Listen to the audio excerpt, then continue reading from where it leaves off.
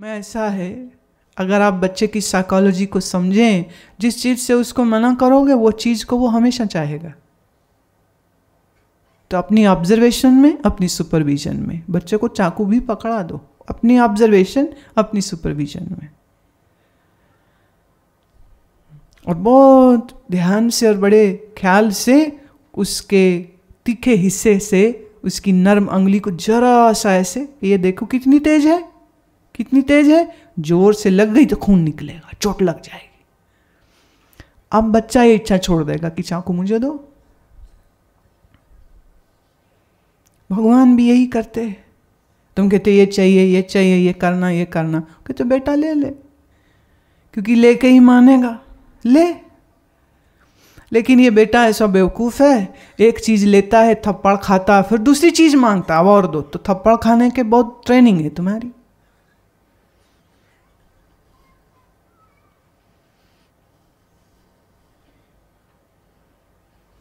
विचार सागर में यह दोहा आता है, सोजन नागर, बुद्धि को सागर, आगर, दुख तजे जो जहाना।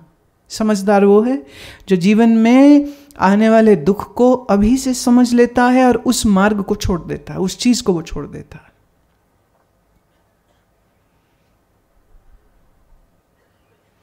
आज जिसको तुम संत देख रहे हो, वो वो भी कभी असंत था, फिर संत हुआ। तुमको परमात्मा सब में एक सा है तो सब सब सारे ज्ञानी होने चाहिए तो लो ऐसे थोड़ी होता है कोई खेल है भाई ये खेल में एक को अज्ञानी होना है एक को ज्ञानी होना तभी तो खेल नहीं छुपान छुपाई एक चोर एक पुलिस खेल ही तो है ही और है क्या don't be too serious hmm ना ना ना be absolutely non serious for this world is nothing just a game just an illusion कभी कभी तुम्हारा शरीर बच्चा होता था, फिर कभी तुम्हारा शरीर जवान हुआ, फिर तुम्हारा शरीर आज बुढ़ा हो गया है, वो बचपना खेल कहाँ गया वो शरीर? वो जवानी का खेल खेलने वाला शरीर कहाँ गया? कहाँ?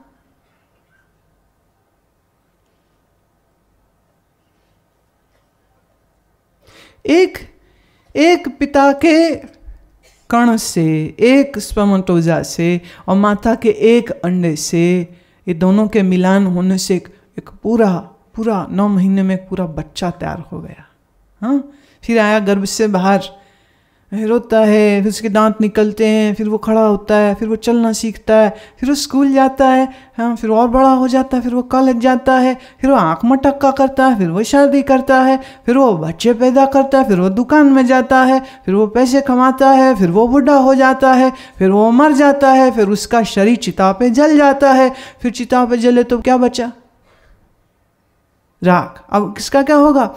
राख जाएगी गंगा जी में। गंगा जी क्या है? पानी। पानी और मिट्टी मिल गए। पानी मिट्टी से खेल शुरू हुआ। पानी मिट्टी में खत्म। पैसा हजम।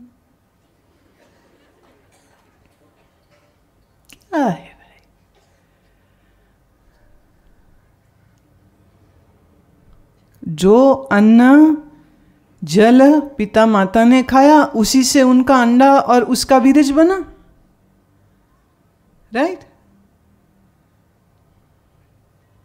और वही अन्न पानी खा के माँ ने गर्भ में पलते बच्चे को पाला और गर्भ से बाहर आया तो बच्चे ने आप आप अन्न पानी खाया और अन्न पानी जो है वो जिस मिट्टी, जिस हवा, जिस आग, जिस वायु से बना था, जो शरीर मरा तो वही शरीर मिट्टी मिट्टी में, पानी पानी में, वायु वायु में, आकाश आकाश में।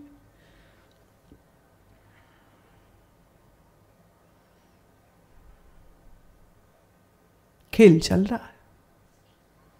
अब इसमें मैं मत घुसाओ। दे मैं हूँ, मन मैं हूँ, ये मत घुसाइए। फिर खेल चलने दीजिए, जो हो रहा बहुत अच्छा हो रहा है। पर तुम इसमें मैं घुसा देते हो। तो ये स्वप्नवत संसार तुम्हारे लिए सत्य हो गया। अब अब मुसीबतें शुरू हो गई। इस सज्जन ने अगला प्रश्न दिया है।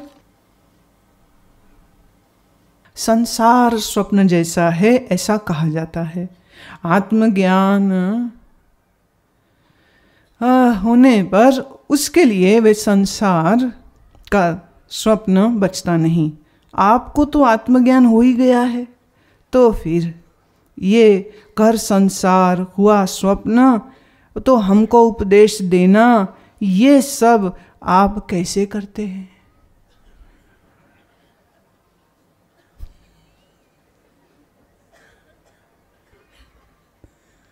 कैसे करते हैं?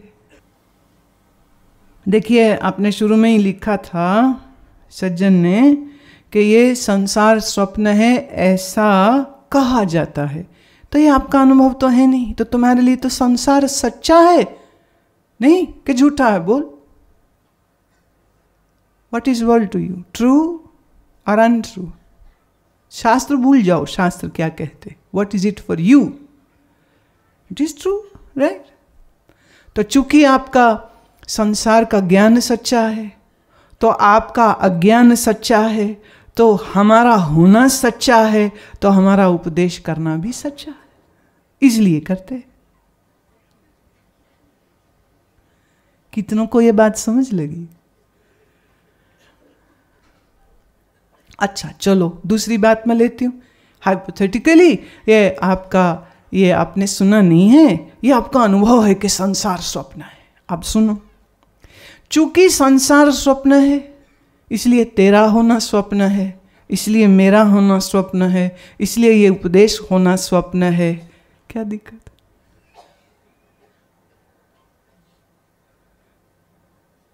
अजब बात है। तुम संसार को स्वप्न तो कह देते हो, लेकिन अपने शरीर और देखने वाली आँख को सच्चा मानते हो। इसलिए तुम्हारा संसार को स्वप्न कहना झूठ है।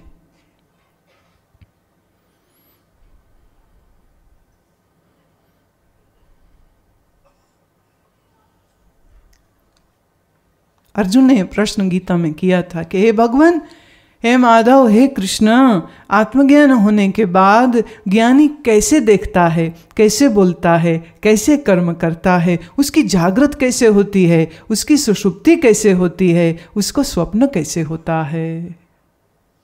कृष्ण बड़ा प्यारा उत्तर दिया।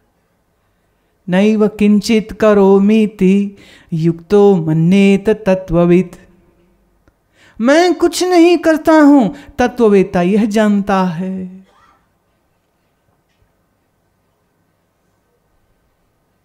गुण गुणेशु वर्तनते करता हम इति न मन्यते। गुण गुणों में व्यवहार कर रहे हैं और मैं कुछ किए नहीं, मैं तो देह, इंद्रिय, मन, बुद्धि से भिन्न हूँ। ये जानते हुए उसका शरीर व्यवहार करता रहता है।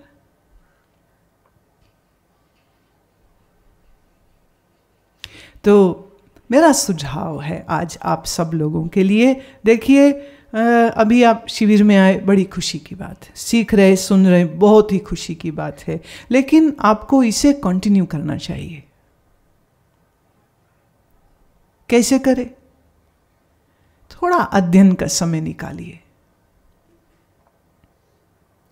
तो मेरा सुझाव है जिन्होंने न पढ़ी हो, तब आत्मबोध पुस्तक ज़रूर पढ़े। और वैसे तो अभी आउट ऑफ़ प्रिंट है, पर और महीने दो में वापस आ जाएगी। ऐसे ही भज गोविंदम ये ज़रूर पढ़िए आप। रोज के चार पाँच पन्ने आप पढ़ें। स्वाध्याय, बहुत आवश्यक। सुबह का जो आपका क्रम है जो मैंने यहाँ आप, आपको करवा रहे हैं यही आप कंटिन्यू घर में भी कर सकते हैं। आसन किए नाड़ी शोधन इत्यादि प्राणायाम किया हाँ ये प्रयोग चले। और फिर आपका जो भी काम है कारोबार है घर का बाहर का वो सब अटेंड करिए। और फिर समय निकालिए शाम को फिर से तो फिर बैठ के कुछ पढ़िए।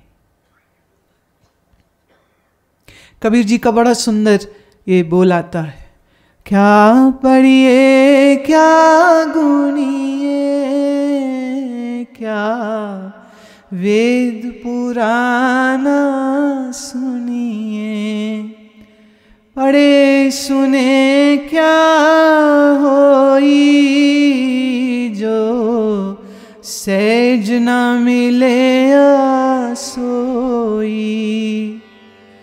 अंधे आरे दीपक चाहिए। एक वस्त गोचर लइए। अंधे आरे दीपक चाहिए। एक वस्त गोचर लइए। वस्त गोचर आई कट दीपक रया समाई वस्त गोचर आई कट दीपक रया समाई अंधे आरे दीपक चाहिए। एक वस्त या गोचर लइए। अंधकार हो तो दीपक चाहिए होता है। दीपक की रोशनी से अंधकार दूर हो जाता है। ऐसे ही तुम्हारे मन में अंधकार है तो ज्ञान का दीपक चाहिए। और मज़े की बात यह है, ये ज्ञान का दीपक तुम्हारे मन में ही है। बस इस जगमगाते हुए दीपक के ऊपर आए, अज्ञान के पर्दे को उठाना है। अंदर तो ज्योत जगमगा रही है, ज्ञान की चैतन्यता की। जगमगा रही। सिर्फ़ पर्दा आ गया देखिए हमने ऐसा समझिए कोई एक चीज़ जैसे समझो ये डायरी ये डायरी एक एक कवर में ऐसे पड़ी होती आ, कवर मिट्टी का है। मिट्टी का बना हुआ एक ढक्कन सा हो कवर हो और इसके ऊपर हो। हम डायरी ढूंढ रहे थे। कमरे में अंधेरा था। हम डायरी ढूंढ रहे, कहाँ है कहाँ है कहाँ है? किसी ने कहा वो जो ढक्कन है ना, वो जो मिट्टी वाला, उस पात्र के नीचे है। तो अब आप क्या करेंगे? आप टॉर्च जगाएँगे, वो जगह ढूंढेंगे, फिर वो कवर वाला दिख गया, फिर आप कवर हटाएँगे और फिर देखेंगे टॉर्च की रोशनी में कि अच्छा डायरी है। हाँ मिल गई डायरी। अब दूसरी बात सुनो। आपके घर में एक प्रकाश प्रकाश देने वाली मणि थी। ऐसी मणि जिसमें से रोशनी निकलती। अब वो मणि मिट्टी के ही बर्तन से वैसे ही ढकी पड़ी थी। आप ढूंढ रहे, मणि कहाँ मणि कहाँ मणि कहाँ? उन्होंने कहा, वहाँ मिट्टी के बर्तन में कमरे में अंधेरा है। तो आप टॉर्च लेके गए। आपने टॉर्च की रोशनी में वो कोना ढूंढा? वो मिट्टी का जो कवर वाला था, वो भी ढूंढ लिया। अब आपने मिट्टी का कवर खोला। नीचे क्या है? जिसमें से प्रकाश निकल रहा है, ऐसी मणि है। अब जिस मणि में से प्रकाश निकल रहा है, उसको देखने के लिए क्या फिर से एक टॉर्च और चाहिए? नहीं चाहिए। ऐसे ही तुम्हारे इसी मन रूपी अज्ञान के इस ढक्कन के तले वह चैतन्य स्वरूप, ज्योति स्वरूप है। यहाँ हमने मन से अज्ञान का पर्दा हटाया। आ प्रकाश ही प्रकाश चैतन्यता अब अलग से किसी रोशनी की ज़रूरत नहीं। मुश्किल यही है कि अभी उस अंधेरे कोने तलक ले जाने वाला ज्ञान का दीपक जो चाहिए, वो अभी तुम्हारे हाथ में नहीं है।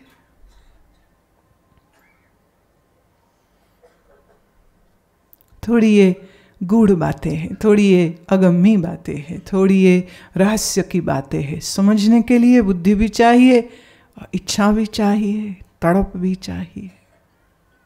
फिर समझ आती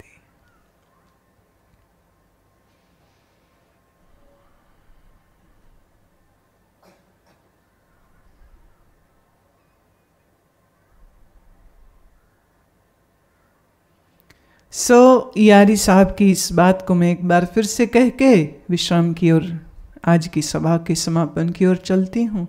राम रमझनी यारी जीव के राम से रमझम रमझम यारी हो जाए। उस यारी के लिए जो जो साधना उन्होंने कही है वो साधना करनी होगी।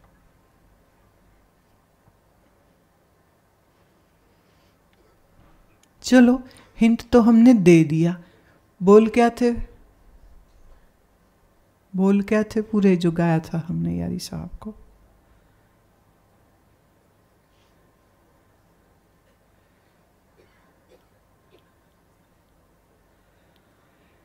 हैं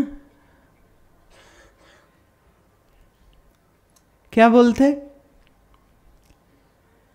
તમે સુણે છું આવે છું कछु बोले?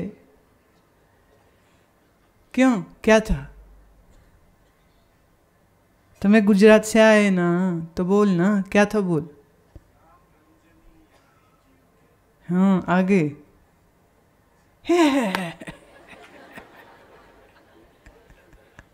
ये लाइन तुमने बोली दी थी। यारी साहब के इस इतने प्यारे भजन का तो क्या ही बात करें। कितना रस, कितना आनंद, कितना ज्ञान, कोई चीज़ की कमी नहीं। प्रेम रस तो पूरा, ज्ञान रस तो पूरा। ये जो मस्ती है, ये हमारे रोम रोम में भर जाए। रोम रोम में भर जाए। मन का पोर पोर। आत्मरामी हो जावे, मस्तरामी हो जावे। ऐसा यतन, प्रयत्न और प्रार्थना करना चाहिए। जो प्रार्थना करते हैं, वही यतन करते हैं। जो यतन करते हैं, उन्हीं की प्रार्थना सफल होती। लोग सिर्फ़ प्रार्थना करते हैं यतन नहीं करते। और कई लोग, यतन तो बड़ा करते हैं पर मैं मैं मैं करके यतन करते तो उनका यतन भी फलित नहीं होता। प्रार्थना और यतन दोनों एक साथ। Effort and prayer one has to surrender one has to surrender एक कतरा समुद्र को पीने चले, नहीं पी सकेगा। तो कतरे को, कतरा माने बूंद को, अपने आप को समंदर को समर्पित कर देना पड़ता है कि मैं तुझ में लीन हुआ। अब अब कतरा ही समंदर हो गया। ऐसे कतरा समंदर नहीं पी सकता था, पर कतरा लीन जो हुआ जल में, जल रूप हुआ, कतरा ही बूंद ही सागर हो गया। जीव बूंद जैसा है। शक्ति सामर्थ्य देखो, कुछ नहीं कुछ नहीं। परमात्मा सागर जैसा है। तो ये जीव की बुद्धि चाहे मैं परमात्मा को समझ लूँ, नहीं समझ सकेगी। पर ये जीव का मन बुद्धि समर्पित कर दे। निर्विकल्प, निर्विचार, निर्विषय हो जाए। मैं का कतरा लीन हुआ ब्रह्म में तो फिर ब्रह्म ही मैं हो गया। ब्रह्म माने बड़ा, जीव तो छोटा है।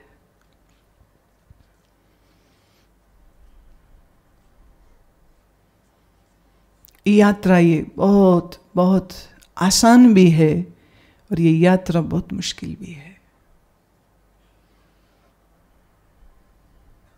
मुश्किल भी है, सहज भी, दोनों का। It all depends how you wish to go about this कितना कितना यतन, कितना प्रयत्न, बस उतना ही, उतना लाभ मिल जाता है। आज का ये जो भजन था, ये बहुत कठिन था, बहुत गहन साधनाओं के विषय में ये इशारा दे रहा था। सो आपको इसे पुनः पुनः बार बार सुनना भी चाहिए। समझ विकसित एक ही बार में नहीं होती। इसलिए जो बात मैंने बोली है, वो एक ही बार सुन के तुम्हें समझ आ गई है, मुझे बड़ी ज़ोर से संशय बुद्ध इसीलिए हर बात को हर वाक्य को तीन बार बोलते थे। थ्री टाइम्स एवरी स्टेटमेंट किसी ने कहा तीन बार क्यों बोलते हैं? एक ही बार बोलो। बोले इनकी बेहोशी बहुत बड़ी तीन बार। तीन बार। एक ही। करुणा देखिए उनकी कितनी करुणा कितनी करुणा। एक ही बात तीन बार बोलते।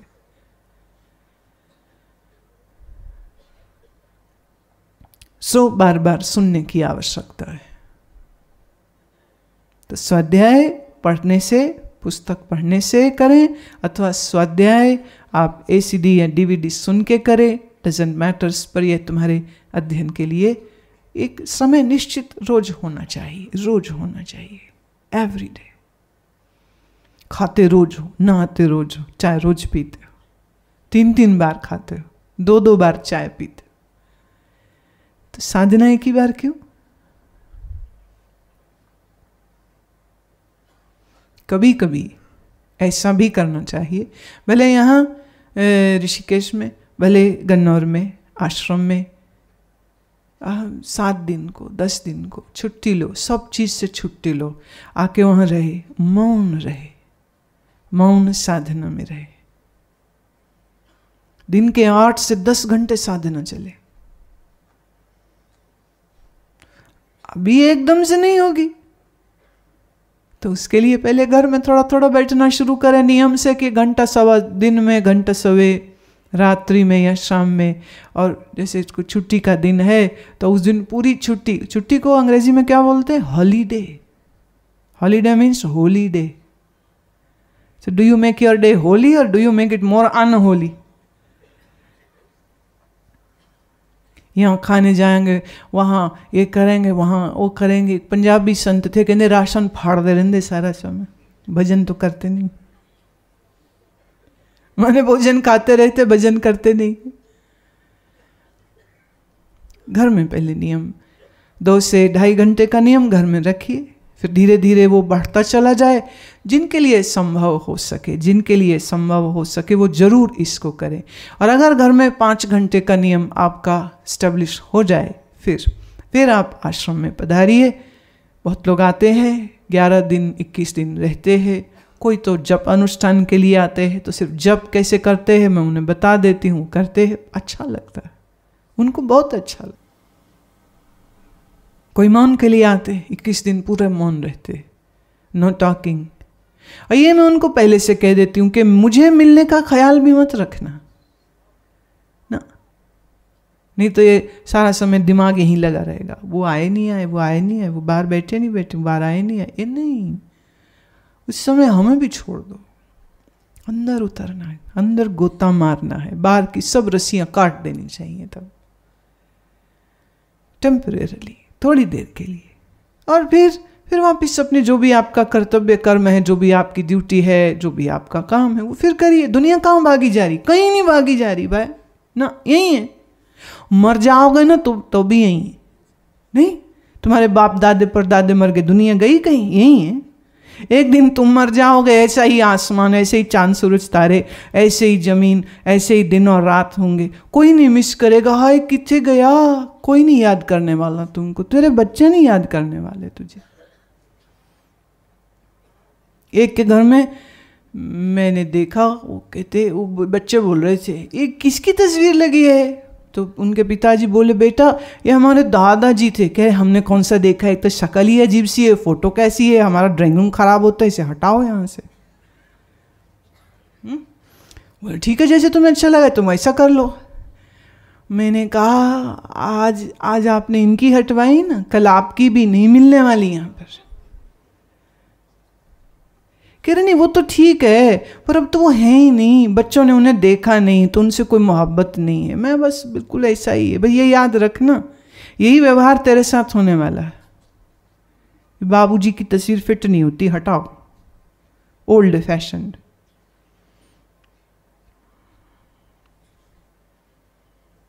अपने आप को उस जगह में रखिए। तुम्हारे बगैर ये दुनिया चलेगी। बहुत अच्छा चलेगी बढ़िया चलेगी। कोई नहीं याद करेगा तुम्हें। तुम ही याद कर रहे हो? हाय मेरी बेटी हाँ मेरा बेटा, हाय मेरा घर, हाय मेरा रुपया, हाय मेरा पैसा हम मैं नहीं चलाऊँ तो बिज़नेस कैसे चले? बिज़नेस बिज़नेस बिज़नेस तुम्हारा तो वो हाल है। नथुलाल ने दुकान खोली कफन बेचने की। तो उनका लड़का नया नया एम करके आया। बोले, पिताजी, आप छोड़िए। ये दुकान थोड़े दिन मुझे चलाने दीजिए। आप बस छोड़ दीजिए। बोले, ठीक है, चलो। तो गए नहीं। तो शाम तो फ़ोन आ गए सब आसपास दुकान वालों के। अरे, न तू कहाँ है? तू जल्दी आ, तेरी तो दुकान में दंगा हो गया। बोले, क्यों? क्या हो गया?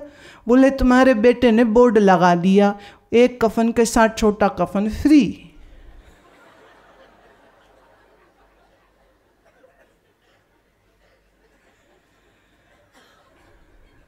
लोग मार रहे हैं उसको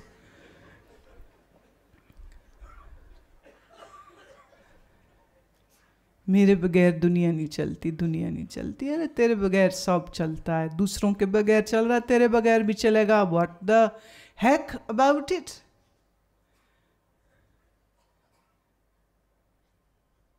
इसलिए थोड़ा सा, थोड़ा मन को, मन की उड़ान को ना थोड़ा काटिए। थोड़ा घर में रहिए, अंदर रहिए। भीतर रहिए। इतना ही कह के वाणी को विश्राम, कल सुबह में फिर से दर्शन करूँगी।